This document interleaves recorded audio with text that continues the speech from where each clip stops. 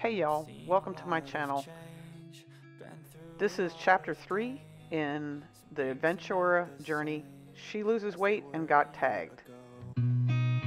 So this is me in the start of getting the handicap ramp out and I was working very hard to get this thing out. It took a lot of time and effort to get this done, but persistence does pay off. And um, I would say the hardest thing that I had to deal with in this particular situation was the fact that I was by myself. Uh, you can see I used some tie down straps here to, to basically catch the ramp should it start to lean out, which you saw it just lean out a little bit there. And um, that way it was safe so that if it should break loose, it was not going to fall on me. Uh, and then you'll watch here in a minute where I was having some challenges to keep, get the bolts out because they were spinning on the top and spinning on the bottom and you'll watch the actual uh, things where I prop the things and then it would just spin around in circles. And so I had to get creative with it and I finally found out ways that would work and where I could prop it to where it wouldn't go anymore and then I finally got it done. Okay, as you can see, I have a greasy face and I have a summary of the day is I have successfully removed the handicap ramp. It is uninstalled. It is on the floor but it still needs to go to the salvage yard and I got to finish disconnecting it. I look wonderful. this is what it looks like to be a maker. But anyhow, I just want to do a quick little video and say I did accomplish something today. And um, I did get the tail lights off, but I'm not, oh gosh, that's just horrible. Uh, yeah, we got much done today through the much dirt and stuff, but it, it was a good day. I'm back out in the van and I wanted to show you a few things. So I'm going to stop this and restart it so I can show you what I'm I've doing. I've got two wires hanging out at the bottom of the floor and I want to go find out where they're at. And I have found out where they are and uh, they both run up underneath here and go into this box here. Um, I had one wire just sitting in here connected to one of these terminals and just not, not connected to anything. I have this wire here that is just hanging out here, not doing anything. And it was just grounded, which I cannot take that out because basically I just unbolted that one. And so I'm taking that out because it doesn't need to be there anymore. It was apparently a battery terminal that is not being used now. So that, that's no longer needed. And then I have another wire here that goes to this terminal right here. I don't know if you can see it. You can't see it. Okay, let's see if we can get some light on that there. This terminal here has a, a battery. That's the one that goes up through the floor. So I have to disconnect that one. And then the other black wire that comes up through the floor is up underneath here.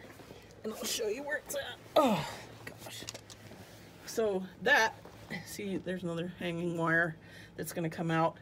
But that other black wire terminates right up there, right next to that, or right in that spot there. There it is, right there. That's the black wire. And they actually go up in between these two boxes. Ah! Sorry, I terminated. Uh, they go up in between those two boxes through the floor right there. So I'm just trying to get this cleaned up and get rid of these wires that are just hanging here and not, these are, these are hot battery wires that are not connected to anything. So I'm trying to get them disconnected so that I don't have uh, shorts in my whole system. It's wonder, no wonder this thing isn't working. And I, I bet you, I know why the AC is not working in the back because the wire's not connected. It is really freaking amazing to me that there can be this many cables that were not properly connected or terminated to electrical circuits. So I have collected up all the, the uh, red wires, especially. The red wires are positive battery leads that just were leading to nowhere or leading to something that wasn't even connected anymore. So I took them all down and I'm gonna I'm gonna save them because they're good heavy gauge wires that I could probably re reuse later on when I do rewiring. But I wanted to show you this because this was just beyond my imagination. There was at least two ground wires that were not being one one was the handicap ramp, the other was to a battery terminal. I've gotten rid of those and they're all in this box now there's no longer any dangling red wires. That's just beyond my imagination. There were so many dangling red wires. Red wires that were not connected to anything. That's that's a positive hot wire that is not connected to anything. That could cause a lot of issues with your car or vehicle. And um, I just, I can't believe that. And I want to show you something else I did. I'm, I'm working on cleaning up. I This is my headliner. I wrapped it in plastic because I want to use it again for a template. And then I took all my stuff that I had laying around. There's this little channel here with all these little hooks on it. So I've literally started hanging up all my miscellaneous stuff up here so that I can find it when I need it. Uh, I'm a very visual organizer, so to have things visually just all, all out where I can see it is very helpful. Uh, all these wires you see hanging down here are old light uh, wiring and they're going to come out too. Um, that's going to be more stuff I'll pull out later. But uh, made a lot of progress. Got uh, got the uh, hydraulic um, stuff disconnected from the big ramp. I have the old battery taken out. I have all the old wiring taken out and I'm in the process of cleaning up this mess here. Um, next step is to organize the tools and then get the blower out and blow as much dirt and crap out of here as I can. I also Next have coming up, I'm going to be taking a little break from um, the project and I'm going to be um, taking some time out to um, just spend some time with the Lord. Uh, it's something I do on a regular basis, especially when He provides a way for me. So I will be uh, working on that this next week. I'm going to be spending time with the Lord and seeing what He wants my focus and direction yeah. on. When I get back, uh, some of my fo focus and direction is going to be on um, finishing up getting the tags and titles for this. So I had the title. I have a, only a few more days to get that done. I've, I've, I've, got to get it done by the end of June. So when I get back from Greenville, uh, I'm going to spend a week in Greenville.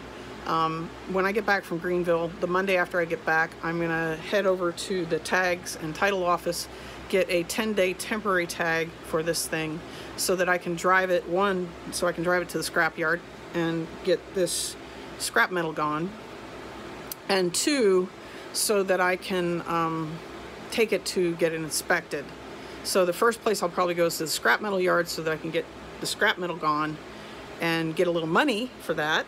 And then whatever money I get is going to pay for my inspection and hopefully pay a little bit toward the title and then when I've got that done, well, we'll actually be able to um, relax and, and start working on the rest of the process, getting the rest of the ceiling out, continuing to, to bits and piece this thing apart.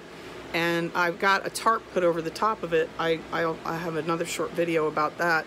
Uh, I have a tarp put over the top of it temporarily until I can get to the roof. I thought I'd come up and uh, do a little inspection on the roof. This is right here. One reason why I think I have roof leaks.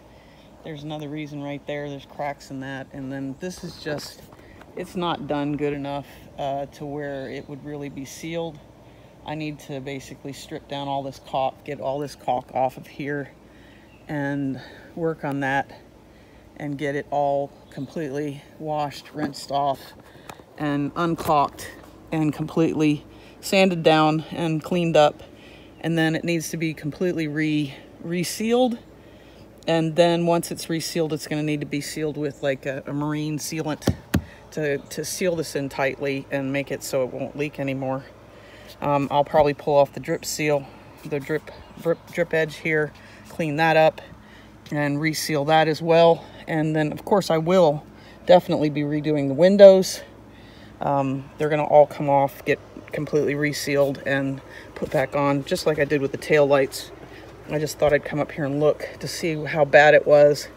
Um, it's not terribly bad. It's not as bad as I expected. But any small leak can lead into a big problem. So any anything that's left alone and left where it has uh, water's going to find its least path of least resistance. So uh, there's plenty of paths of least resistant up there. So I figure um, when I get back from Greenville, I'll probably start addressing the roof issues.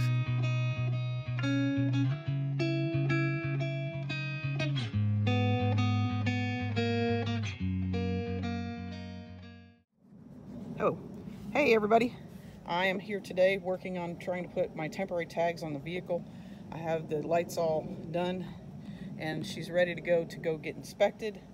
Uh, I've got the temporary tags and I'm going to put those on. I'm going to take this license plate holder off with these two screws because it's very difficult to get behind here and try and get the nuts on. So I'm going to just take it off real quick with the two screws, put the license plate tags on the holder, and then basically change that out.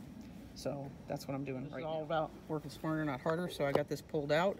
It's gonna be real easy to get these bolts and nuts on here and tighten them up. And then I'll put the screws back in and we're good to go. We got the temporary tags on.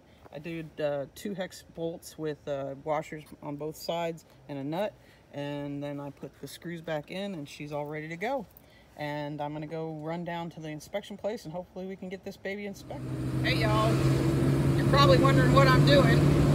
Well, I'm gonna try and lose some weight. I'm on my way to the scrap yard. If I can lose some weight. I had some extra roofing material that was left over from when my roof got changed out. I'm gonna sell that too. And uh, we'll see what we got. Got a lot of extra sheet metal. Not sheet metal I can use on the on the uh, whole thing, but I got some sheet metal I can use. So about to say goodbye to this ramp forever. Uh, they're getting ready to get a forklift and get it out of here. So Here she goes. She's leaving now. And. Come back again. And on it goes.